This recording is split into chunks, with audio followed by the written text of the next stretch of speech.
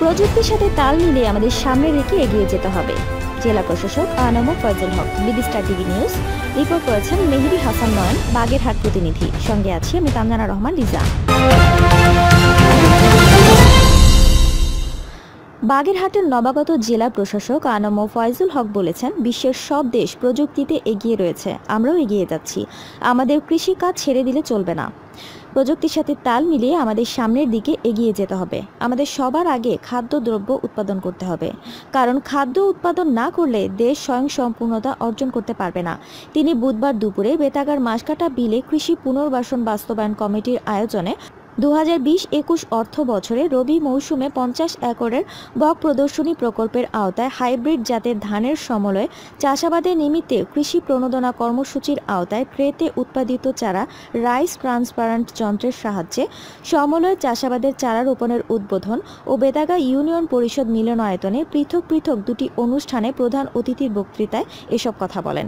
তিনি বলেন, বেতাগা ইউনিয়ন পরিষদের যে কর্ম পরিকল্পনা তা বাস্তবায়ন আমাকে মনোমুগ্ধ করেছে। আমি তিন বছর মেয়াদে দশটি কর্ম পরিকল্পনা নিয়ে এ জেলায় কাজ করার জন্য উদ্যোগ গ্রহণ করেছি। কিন্তু বেতাগায় এসে দেখলাম, আমার সেই কর্ম পরিকল্পনার অধিকাংশ বেতাগা ইউনিয়ন পরিষদ বাস্তবায়ন করেছে। এখন তাদের উদ্যোগগুলি আমি পর্যায়ক্রমে জেলার নয়টি উপজেলায় ছড়িয়ে দেব। উপজেলা নির্বাহী অফিসার মোহাম্মদ তানভীর রহমানের সভাপতিত্বে অনুষ্ঠানে বিশেষ অতিথি ছিলেন কৃষি সম্প্রসারণ বাগেরহাটের উপপরিচালক কৃষিবিদ মোহাম্মদ শফিকুল ইসলাম, উপজেলা পরিষদ চেয়ারম্যান ও স্থানীয় সরকার বিশেষজ্ঞ স্বপন দাস এবং কৃষি সম্প্রসারণ বাগেরহাটের অতিরিক্ত উপপরিচালক কৃষিবিদ সঞ্জয় কুমার দাস। উপসহকারী উদ্ভিদ সংরক্ষণ অফিসার নয়ন কুমার সেনের সঞ্চালনায় অনুষ্ঠানে অন্যান্যের মধ্যে বক্তৃতা দেন উপজেলা কৃষি অফিসার কৃষিবিদ মোহাম্মদ নাসরুল মিল্লাত, বেতাগা ইউপি চেয়ারম্যান মোহাম্মদ ইউনুস আলী শেখ ও স্থানীয় ইউপি সদস্য মোহাম্মদ আসাদুজ্জামান তুহিন।